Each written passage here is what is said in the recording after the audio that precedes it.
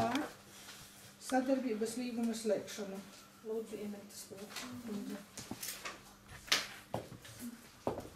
Tātad šis jautājums jau tika skatīts komitejās, taču viņš ir palicis bez Virzības. virzības. Jā, sanāca. Tāpēc es vēlreiz paskaidrošu. Tātad 2016. gada 1. martā tika saņemta vēstule mm, no Preļu novada domas par sadarbības līgumu. Un mm, ir konstatēts, ka Preļu novada dome sadarbībā ar biedrību Latvijas sarkanais krusts no 2014. gada 1. maija nodro, nodrošina patversmes atkurbināšanas pakalpojumu sniegšanu valsts policijas Latgales reģiona pārvaldes Preļu iecirkņa telpās. Pakalpojumu izmanto ne tikai Preļu novada, bet arī citu novadu personas, arī Aglonas novada. Eh, Deklarētās personas 2015. gadā ir izmantojušas 19 personas. Viena klienta izmaksas diennaktī ir 20 eiro, telpu uzturēšanas izdevumus un darbinieku algas nodrošina Preļu novada pašvaldība. Patversmes atskurbināšanas telpas pakalpojums nodrošina klientiem personām bez noteiktas dzīves vietas vai krīzes situācijā no- nonākušām personām. Tā ir skaitā alkohola un citu apiebinošo vielu reibumā sociālo pakalpojumu, izmitināšanu, ēdienu, medicīnisko palīdzību un nepieciešamības gadījumā. Piedāvāto pakalpojumu klāsts ir uzskaitīts pakalpojumu aprakstā, ko jūs saņēmāt. Ja? Tad eh, pagājušajā gadā, kā jau minēju, šo pakalpojumu Preļu novadā izmantoja mūsu 19 cilvēki. Nu, ne 19 cilvēki, bet 19 pakalpojumi tika sniegti. Un tad šeit ir, eh, mēs saņēmām no vides eh, aizsardzības un reģionālās attīstības ministrijas vēstuli 29. decembrī, ja, kur vides reģionālās aizsardzības um, un attīstības ministrija informēja, ka saskaņā ar 2014. gada 16. decembra ministru kabineta protokola lēmumā noteikto ministrijai uzdots par sākot ar 2015. gadu līdz katra gada 1. februārim izvērtēt pašvaldību iesniegtos valsts budžeta līdzekļus, līdzekļu pieprasījumus par iepriekšējo gadu par faktiskajiem izdevumiem, kas radušies sakarā ar atskurbināšanas pakalpojumus um, sniegšanā diennakts režīmā, sagatavot noteiktā kārtībā un iesniegt ministru kabinetā projektu par šo līdzekļu atmaksu un piešķiršanu. Mm, Ir paredzēts piešķirt par vienu gadījumu 15 eiro un um, par, um, tas ir par katru telpā ievietoto personu, bet ne vairāk kā 2000, 200 tūkstošu eiro apmērā vispār. Tā ka, ņemot iepriekš minēto, mums tika lūgts sniegt informāciju saskaņā ar to, ka mums līgums eh, nebija noslēgts ar eh, Preļu atkurtu, tad mēs arī sniedzām šādu informāciju, atbildot uz šo vēstuli darām zināmu, ka Aglonas novada pašvaldība 2015. gadā izmantojusi Preļu mm, novada sniegtos eh, atskurbināšanas pakalpojumus pēc Preļu novada pašvaldības sniegtajām ziņām pakalpojumu izmantojuši 19 Aglonas novada iedzīvotāji 2015. gada laikā. Un Aglonas novada pašvaldība nav segusi izdevumus par pakalpojumu nevienai no šīm personām. Telpu uzturēšanu nodrošina Preļu novada pašvaldība no saviem līdzekļiem. Tātad sagatavotais lēmuma projekts ir sekojošs, slēgt sadarbības līgumu ar uz vienu gadu ar Preļu novada domu par patversmes mm, atkurbināšanas telpas pakalpojumu nodrošināšanu Aglonas novada iedzīvotājiem. Līguma projekts ir pielikumā pievienots un paredzēt aptuveni līdzekļus 500 eiro apmērā no 2016. gada budžeta sadaļas neparedzētiem gadījumiem. Uz šo brīdi gribu informēt, kad eh, pakalpojumu ar eh, Prēļu novada domu ir noslēguši, noslēgušas gan Vārkavas novada dome, gan Līvāna novada dome, gan Dagdas novada dome. Um, runa nav tikai par teiksim, personām alkohola un citu apreibinošu vielu reibumā sociālā pakalpojuma sniegšanu. Ja? Bet, kā paredz līgums, arī personām bez noteiktas dzīves vietas vai krīzes situācijā nonākušām personām. Īstenībā, ja mūsu bāriņu tiesa konstatē, ka ir problemātiska situācija ģimenē, kur cilvēks varbūt alkohola reibumā veids kaut kādas nu, darbības, kas nu, apdraud ģimenes drošību un tā tālāk, tad, protams, tiek pieaicināta policija, taču, um, ja nav izdarīts noziedzīgs pārkāpums, tad šo cilvēku īstenībā mums nav kur ievietot. Ja mums būtu šāds līgums, tad mēs viņu varam ievietot prēļos. Tas pats attiecas arī uz nu, kaut kādā citā krīzes situācijā nonākušām personām. Mums jau šajā ziemā arī bija pāris gadījumi, bet nu, kaut kā mēs šo situāciju risinājām. Bet, um, ja šis līgums nav noslēgts, protams, ka šo pakalpojumu mēs nevarēsim paņemt. Lai noslēgtu un lai izveidotu savu krīzes centru, protams, ir nepieciešami lieli līdzekļi. Varbūt arī tas nav tik um, pieprasīts pakalpojums uz šo brīdi.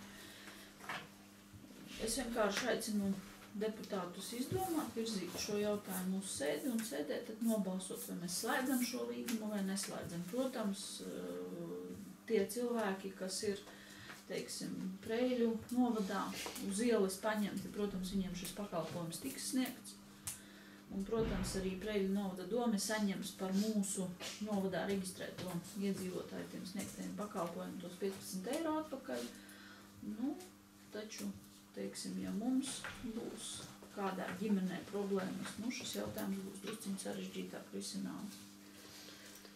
Ir kādi jautājumi, Pogai? Lūdzu. Pogai nav jautājumi.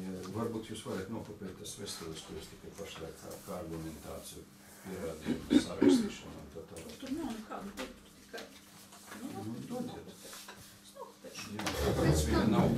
Nē, kāpēc nebija jautājumu. Jūs virzat visus jautājumus. Jā. Man jautājums, kāpēc deputātiem tas nebija nosūtīts? Kā materiāls izvērtēšana. Nebija līdz pagājušā reize. Nu, jūs nekāds ne- Deputātiem ir pieejams namēja sistēmā.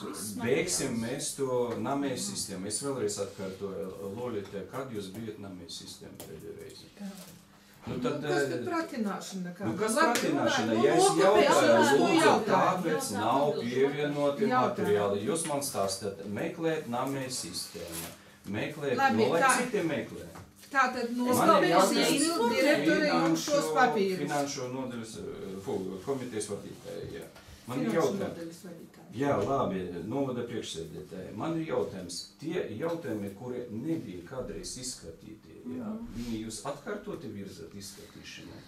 Un tie lēmumu projekti, kuri it kā i nebija izskatīti, i nebija atlikti un nebija nekad Tā, mēs kārtības. pašreiz Es runājam. jautāju pēc būtības. Es jūs neatbildēšu vienu, jums uz šo jautājumu. A? Es Jūs tagad runāju jūs priekšsēdētāju. sadarbības līguma noslēgšanu.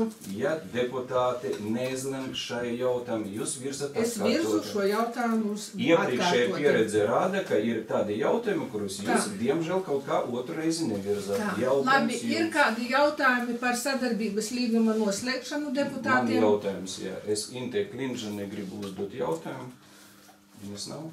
Nav šodien viņa.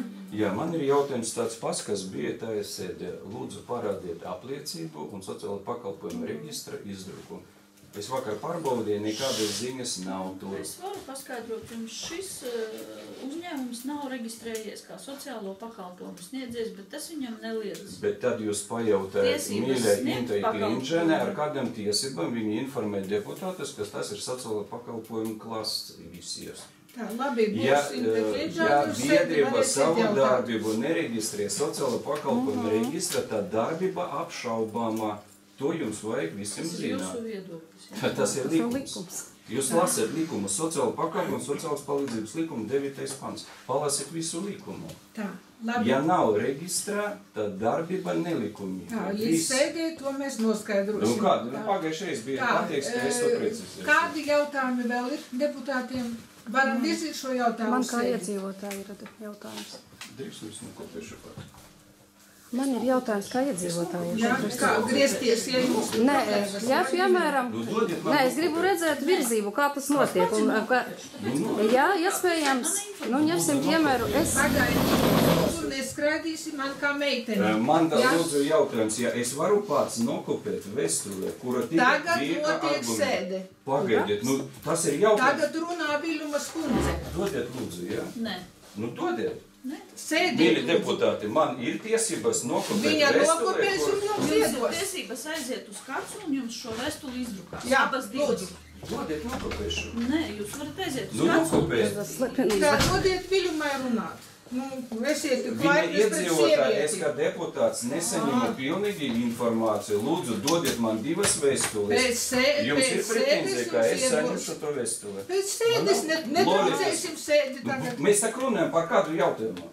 Netraucējiet lūdzu sēdi. Iesniegsim Pagaidiet, šos kā, kā es varu papīrus. traucēt? Jūs man nedodat Tā, materiālu. Viluma skundze lūdzu. Es nevaru runāt pēc likuma, jo deputāts vēl runā. Tas ir viens, un deputātam ir tiesības saņemt dokumentu. Lūdzu, ieprotokolēt, ka man neviens Jā. nedod divas vēstules, kura ir Komitejas sēdē. Nevis nedot, bet Informāciju par šīm Lūdzu, vēstulēm dodiet, es pārliecināšu snamēju sistēmu. sniedza, sniedza informāciju lūdzu. un iedos pēc sēdes.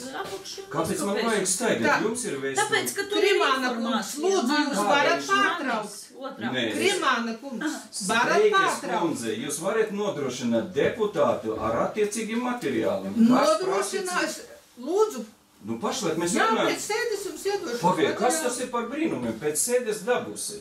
Varējāt prasīt jau sen to. Pirms sēdes, trīs Viņš dienas prasīja. Ilgi. kā es zināju, ka tāda Tā, vēstule labi, ir? lūdzu, Jūs Sveiki, varējāt jūs namējā reizē balagānu. apskatīties šo Kurš vēstuli. to balagānu veido? Vēlreiz atkārtoju. Visi jūs pašlaik iedzīvotāji visi saka, ka dzirdējāt. balagānu veido Man krimāns. iedzīvotāji neinteresē. Ā, Atvainojiet. beidzot, To, ko jūs iedzīvotāji jums zvanat, ir neinteresē. iedzīvotāji, nestāstiet Nu, man tas ir brīnumus. ļoti dodiet man divas vēstules. Iedos, nokopēs, bet tagad Tā. neskraidīs kā.